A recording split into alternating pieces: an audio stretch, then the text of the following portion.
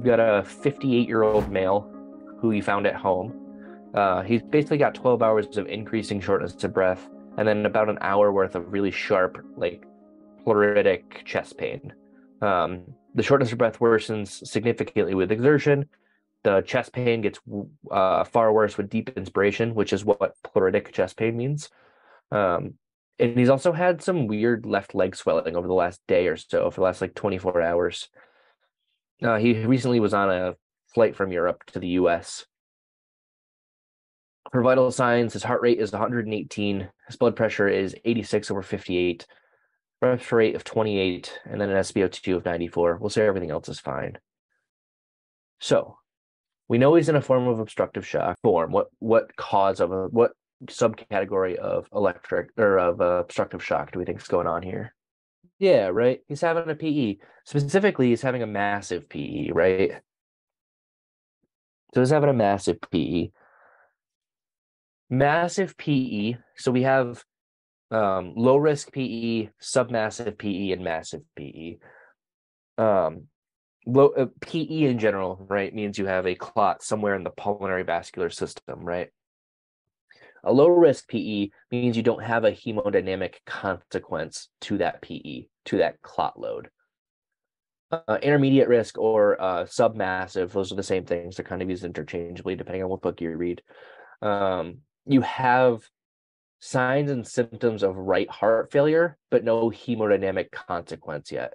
So you have like right ventricular dilation, for example, on an ultrasound or something like that basically that obstruction is actually causing a backflow, just not enough to like drop their blood pressure and stuff like that yet.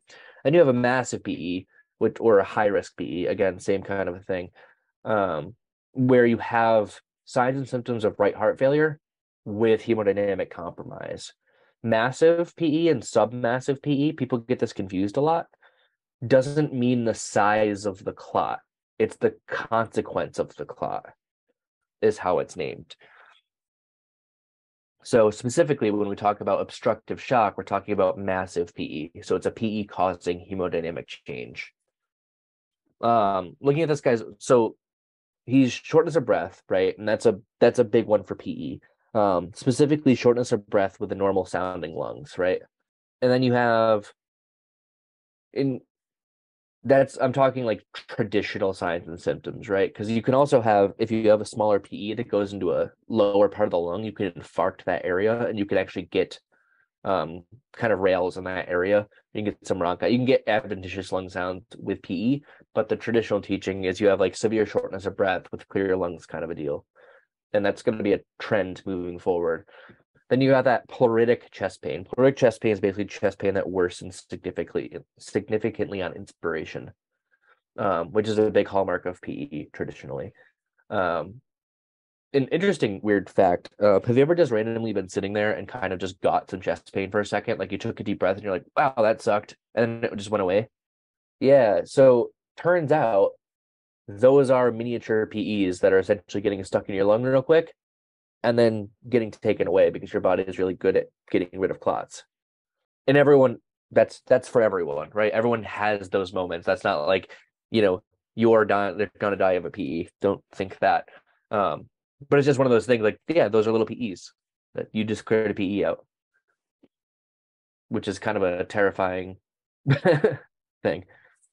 So you can diagnose that failure based on signs and symptoms, based on hypotension, based on a couple different things um, those with ultrasound technically to diagnose submassive PE versus non-clinical PE or like a low risk PE, um, you specifically look for um, one of two big things in ultrasound. You have you look at the right side of the heart, and basically if that's dilated um, or back pressuring, you can consider it submassive PE at that point. Or um, you look at their IVC, so their um, their vena cava, and you you'll take a look at that and um, basically how that reacts to fluid and how that reacts during inspiration stuff. You can do it based on that. That's kind of out of the scope of this talk, but there's ways to look with an ultrasound, like in the field, um, if your agency carries that. Some do, like my 911 agency does. So it can be in really big, massive PE. That's a super rare finding, and it's almost always found in post mortem. So it's almost always someone who died of massive PE. Um, it's not generally something we're going to see, but that line of demarcation thing is a thing that can happen with PE. Um, it would be a super, not necessarily even late finding. It's just it's a finding um, for very, very, very significant PE. And a couple other things can cause it too. Um, the last time I actually saw it, or I should say, really the only time I've really saw it wasn't even on a PE. Um, we had a patient who had a tumor that basically sat in their mediastinum and it ruptured uh, and they had that like demarcation line, and it's the same kind of pathology behind the two. Um, you're just you're blocking venous return from that point forward, or blood flow from that point forward. Um, but so that's something you can look for as well. But usually a postmortem sign. It's like the whole like tracheal deviation when it comes to tension pneumo, and we'll talk about that later. Um, it's almost always a postmortem finding. It's it's a super late finding. We have increasing shortness of breath, pleuritic chest pain. We have kind of all the traditional signs of symptoms of PE, and they have that leg swelling. So the vast majority of PEs, um, and I mean like greater than ninety percent of PEs, come from a DVT or basically a clot that's in the lower extremities. Generally, uh, can be in the pelvis as well. Um, that kind of forms and then breaks off. And it can form from things like, you know, patients who are sitting still for a long time, right? Uh, surgical patients who just had big surgery, especially orthopedic surgeries. Being on birth control is a big risk for females because it causes clotting problems. Unilateral leg swelling is a big sign. So then we take a look at the vitals. Um, we definitely have a big shock index there, right? Heart rate's 118 versus a systolic blood pressure of 86. That's definitely a, you know, pulse pressure or a uh, shock index greater than one. Um, that blood pressure is super concerning, especially for a PE patient. They're tachypneic because they're not getting air. At least the body thinks it's not, and they're starting to get a little um, hypoxic. So let's talk about kind of PE specifically. So again, usually starts kind of as a formation of a thrombus in a deep vein, usually of the lower legs. Uh, then you get embolization of that thrombus, right? A thrombus is a blood clot, and embolization is a mobile blood clot. And then that leads to eventually obstruction in the pulmonary vasculature. again, we have that three classification things. You have low risk, intermediate risk, or submassive, and then high risk or massive. Um, PE is really the pathophysiology comes down to two major consequences. One, you have something called VQ mismatch issues. So you have ventilation perfusion mismatch. Because if you think about it, right, um, if you picture your alveoli, you have air coming into the alveoli, and then you have a capillary kind of running underneath it, right? It's like the universal sign of alveoli. Um, in PE, you have that alveoli working fine. Air is coming in, oxygen's coming in.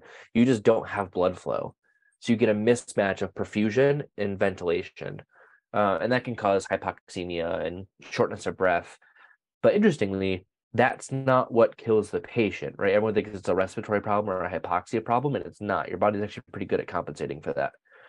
What happens and why people die of PEs is hemodynamic collapse, right?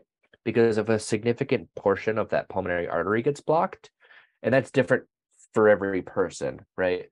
Um, whatever your significant portion is, um, you basically get a marked increase of pulmonary vascular resistance. So you have a really high right heart afterload. And that's the big problem there. Your right heart, unlike your left heart, right? Your your left heart's used to pumping against your blood pressure, especially patients with like hypertension, right? Your left heart's really strong. If you look at the picture of the heart, right?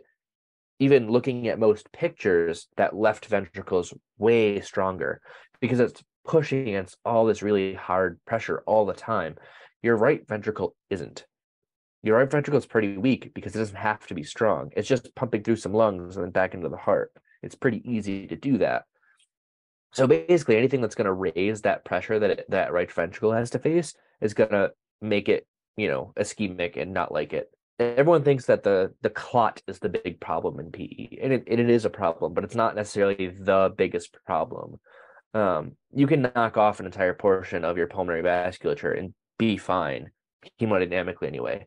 The jam is that you get these that clot, that formation of that clot in the pulmonary vasculature releases a whole bunch of vasoactive agents. Um, basically, your inflammatory response to that area, which then clamps the vessels down. So now you have more right heart afterload and more pulmonary vascular resistance. So all that blood starts really backloading into that right ventricle, and you go into right heart failure. So the healthy, a normal healthy kind of right ventricle can withstand up to 50% obstruction of the vasculature. So you can basically knock off an entire lung and still be fine, not have any signs or symptoms yet. But that's, you know, the healthy patient. Most of our patients with PEs are not the healthy patient, right? They have a whole bunch of comorbidities. They have COPD, they have asthma, they have hypertension, they have heart disease, they have, you know, um, peripheral vascular disease, those types of things. Um, they're smokers, they are liver failure patients. They're, you know, it's a bunch of patients who generally have a bunch of comorbidities anyway. And in those patients, that 50% is a lot lower. But basically, what happens is all of that blockage in the lung creates that back pressure in the right ventricle, and you get right ventricular overload, which causes right ventricular dilation. So that ventricle is going to dilate and get bigger and get weaker when it does that. And you're going to have something called increased wall tension. So that fluid's going to back up and back up and back up and push against that ventricular wall. The right ventricle can't handle that pressure. So it's going to quit. It's not going to be able to pump that out. And at the same time, as your right ventricle is not able to pump that blood out, it's going to start to bow into that left ventricle and make it so your left ventricle is going to suck too. And the jam with that, right, is if your right ventricle can't pump, take the blood from the body and pump it into the lungs to then go into the left heart to go into the body, if you're you got the traffic jam in that right heart, it ends up being no blood getting into the left heart either, which drops your blood pressure, drops your cardiac output, and you go into shock.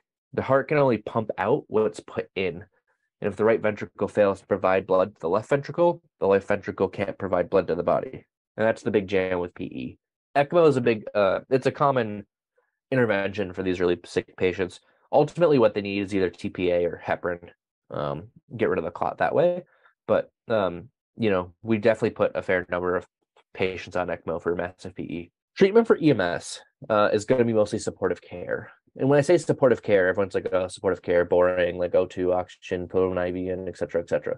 Turns out supportive care and shock is the vast majority of shock treatment. Good supportive care is what will save your patient. Um, and really here, your supportive care is focused on that right ventricle. You need to support that right ventricle. Um, things like positive pressure ventilation will drop right ventricular problems. Um, things like intubation, right? CPAP, BiPAP, intubation, putting it they, these types of patients on positive pressure at all will make it worse. You really want to try to avoid doing that if you think it's a massive PE or something like that. Um, you know, these patients die when they're intubated. Um, but like things like positive pressure intubation, right? You're going to decrease that right. Um, you're going to decrease that right side pressures, right? And that's going to lead to a reduced or you're gonna, I'm sorry, increase those uh, right-sided heart pressures, which is gonna reduce your venous return into the heart, which is gonna reduce your cardiac output even more. It does that to a normal patient when they're intubated for an elective anesthesia case. Never mind someone whose right heart is already failing. The other big thing with these patients is you have to be super careful with fluid, right? So when we think about, let's say, right heart failure from a massive right sided MI, right? Well, what's the first thing they tell you? Oh, don't give nitro, give fluid, right? And that makes sense for that ischemic, you know, MI ventricle, because that ventricle turns out will contract harder by giving it more fluid. It'll stretch more, and by stretching more, it'll snap more, and by snapping more, it'll put more blood. The jam here is there's a roadblock ahead of it, right? So you're going to put a whole bunch more fluid into a ventricle that's already way overloaded and you're just going to make that overloading worse. Some patients will be okay with some fluid and the general recommendation is to do like you know 250 to 500 mLs at a time. If they get worse stop. If they don't give up to a liter and kind of stop. And that's like with long transports. That's not something you're going to do in a five minute transport right? So you have to be careful with positive pressure and you have to be really careful with fluid those are the two big key supportive care things with this. And then obviously early vasopressors, if you're able to do those. I don't know what your scope is and or your protocols and stuff in your different regions of Canada. The reason the CPAP intubation is wrong, um, and it's not necessarily wrong. Like they, some of these patients do have to be intubated, and it just sucks because you like you know it's going to make them worse for a bit. Um, because you ultimately do have to oxygenate. The jam is that you know intubation, putting someone on. So blood flow back to the heart, right? We think of the heart as a pump and we think of it kind of as a traditional pump and that like um, almost like a pool pump right? Where it pulls water in spins it around and shoots it back out some other end. Our heart doesn't actually work that way right? Our heart's what's called a passively filling pump. So our heart is completely dependent on the flow coming into it so you could picture like the heart sitting at the bottom of a waterfall and the water coming down into it it's completely dependent on that river above it. It has nothing to do with the heart sucking blood, right? Flow requires pressures. So it has to go from a high pressure to a low pressure. It's also how wind works, as a weird random science side note. Um, but you're going from a high pressure to a low pressure. So you're going from a low pressure venous system to a really low pressure right heart system that right heart has to be really low, if not negative pressure, for blood flow to come back to the heart. When you put someone on positive pressure, so when you intubate them, for example, you're changing that negative pressure physiology that they do and keeps that pressure nice and low to a increased pressure physiology because you're shoving pressure into that right heart essentially. So you're actually limiting flow more just by intubating someone. And that's just anyone, never mind a PE patient most people will get through that, right? Like if I, you know, was coming in for my surgery, I will get through that just fine. It's not going to destroy my hemodynamics. I'm a relatively healthy person. When you have someone with already failing right heart, where their heart pressure is already elevated, you're going to elevate them a lot more by intubating them. Uh, we carry epi. Yeah, right. So Epi uh, is a good choice, and actually, Epi there's a fair argument to be made that Epi is actually even better than Norepi in massive PE.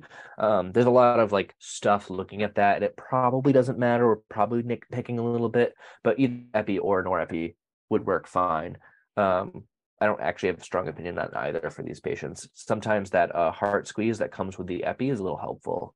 So vasopressors aren't going to help the clotting issue. Vasopressors are going to help that heart squeezing because you have a right heart failure. That that ventricle is not squeezing blood out anymore, which is what's causing the shock. I mean, what's causing the shock is the massive clot that's sitting in their lungs. Um, but in order to support that, until some other stuff can work, we need to give pressors, specifically inotropes, right, to give that heart more squeeze. So that's the goal with the vasopressors to maintain hemodynamics exactly. Um so that's kind of where ems lives right is in that area. In the er what they're going to do is they're going to put the patient on anticoagulation so they're going to be on some form of like a heparin or a lovenox or something like that. Um, and what that does that heparin's not going to get rid of that clot. It's going to prevent the clot from getting worse. And that's going to be the goal there with that. The actual goal for massive pe is thrombolytics right? So they're going to get like TPA, TNK, just like they would for a stroke or a STEMI. It's just a slightly different dose, and it's a faster dose just because it's a different thing. Um, but if patients can't get that for whatever reason, they can do, um, you know, you can go to like interventional radiology and they can do mechanical thrombectomy and stuff like that too, which is super cool.